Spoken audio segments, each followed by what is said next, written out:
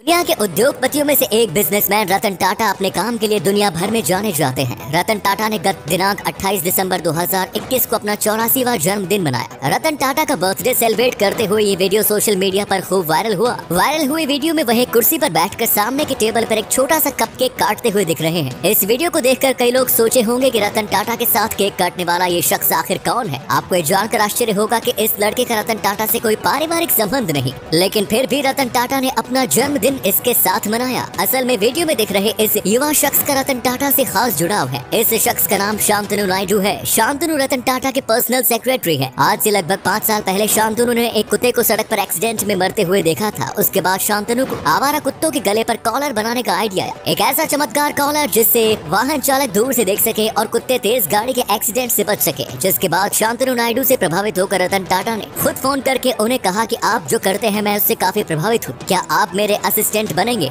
और तब से शांतनु रतन टाटा के पर्सनल असिस्टेंट है